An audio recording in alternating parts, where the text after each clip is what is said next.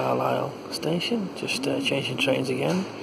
Um, got further than I did last time this game was on. Uh, obviously, last time it was scheduled to go ahead. I got as far as Penrith. Today we got to Carlisle. Hopefully, the game will be on. It looks fine.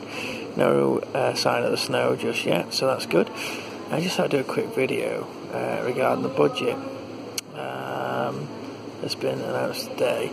So, on the face of it, good things uh, for me and for work are this um, grant for small businesses, uh, 3k grant for small businesses, which could help with um, paying sick pay and stuff like that, which uh, could be difficult if uh, we get somebody off sick and obviously we can't fulfill orders.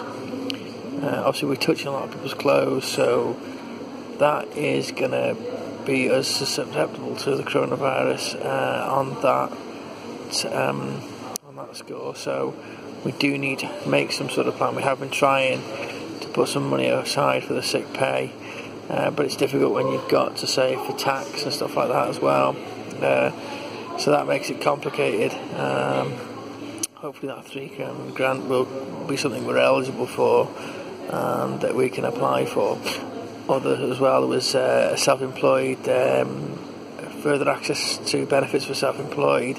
Uh, not too sure what that's going to um, contain, but hopefully that's something we can look into as well, especially if we are off sick and we can maybe access benefits uh, for that through um, through sick some sort of sort of sick pay scheme there. So we'll have to have a look into that. But uh, positives anyway on those scores from the budget. Um, so uh, pleasing in some ways, and uh, on the top of it, maybe takes off a little bit of the pressure that uh, we're under at the minute with the sick pay um, issue and the coronavirus um, incoming and impending in, in the UK.